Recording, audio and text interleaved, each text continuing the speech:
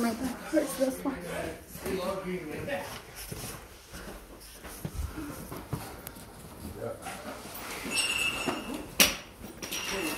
Oh my god, the plasma, bros. Uh, I need help with this one. I. Why did you TV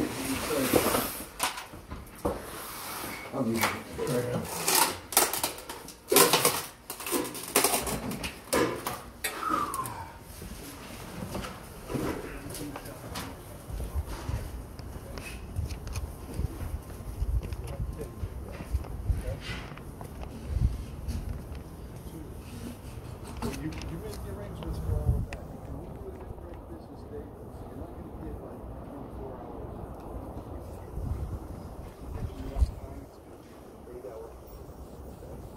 Okay. But today, you have until, whatever you have out of the house in the front yard, you have till today to get it all done. Okay? All right. What happens to it if it doesn't? If it doesn't, then, uh, because that letter I gave you is from code enforcement, I haven't had a chance to read it. Well, I'm, I'm gonna briefly tell you what it says. It says that you have to have everything over here, or he starts getting fined, and then he can sue you for the amount of money that he's getting fined. Okay? So you wanna get it out of here, otherwise he's gonna come in here and just haul it away himself. Okay? But you said code enforcement was gonna sue him. Or, no, Fining. Fine. Fining, but he has the right to protect himself so he doesn't get fined. Uh-huh. Okay? That's why I'm saying, you have until today to get everything out of here. Yeah, well, if we start litigation, I can make a year out of that.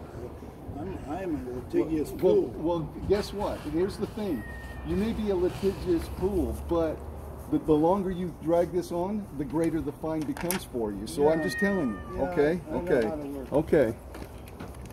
Um, how long do I have to keep this property on like here? Because the like city told me they they gave him that letter a month ago and he never gave it to me. They they fined him.